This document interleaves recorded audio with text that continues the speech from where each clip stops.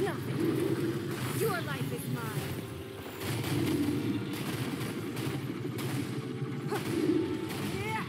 Don't waste my time.